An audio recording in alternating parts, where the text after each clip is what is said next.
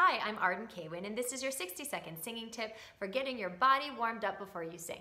As a singer, your body is your instrument, not just your vocal cords, your whole body.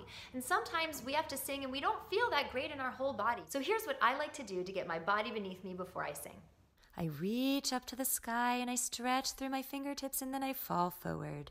And I dangle and I let the weight of my arms pull me out. And then I siren into my back. Oh, rolling up, stacking my vertebrae.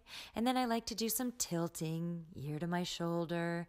And I do the front and back. And then I do small circles, softening the back of the neck and being gentle as I go.